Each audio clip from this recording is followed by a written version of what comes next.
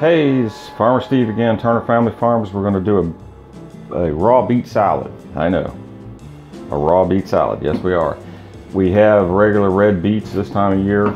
Um, I do also uh, grow golden beets, white beets, chioggia. There's some that aren't quite, you know, uh, they're not red, and as a result of that, they're not as messy.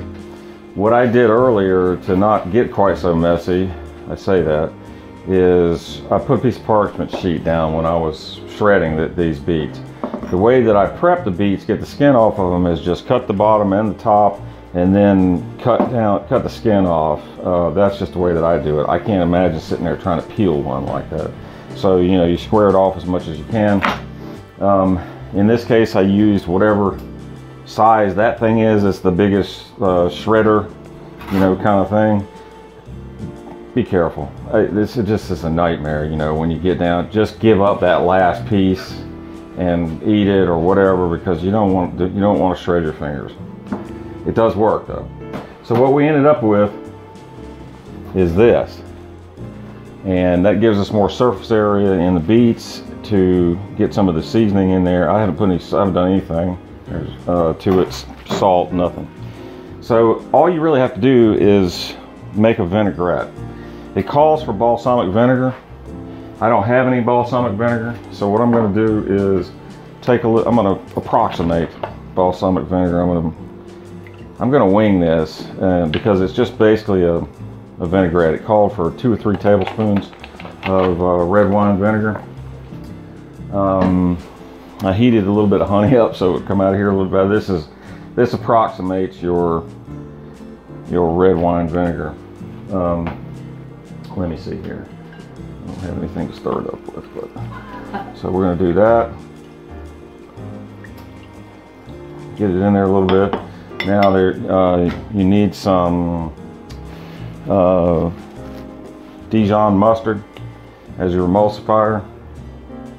I didn't take, did I not take this off? I did. Just a dollop there. And we're going to stir that up. Salt and pepper. When I do salt, this is kind of interesting. When I, when you're salting, uh, making a sauce, or you know, a vinaigrette in this case, or whatever it is, a lot of times when I do a salt, and I'm and I'm wondering how much to salt it, because at the end of the recipe it'll say quarter teaspoon, whatever. It's you just eyeball it. You really want to get to where you eyeball all this stuff, but I actually look at what I'm what I would be salting when I put it in in here. So I'm thinking, eh a little more. I've got, now I know some pepper goes in here, so I'm kind of visualizing.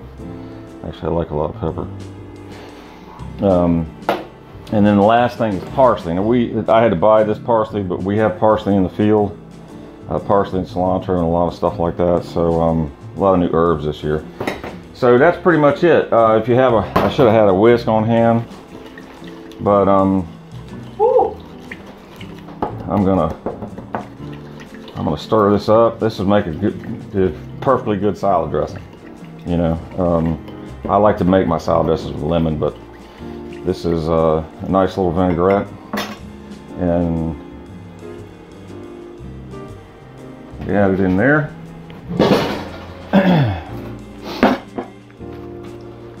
Just toss it around a little bit. Oh, I forgot one thing. I forgot. What did I? I didn't put olive oil in it, so I'm gonna put it in on after the fact. Um, not a big deal. I'm going to stir this up a lot. You don't need much of that. And you want to let this sit for a while because uh, it'll get some of the astringentness. The word astringentness? Astringiosity? Astringefulness?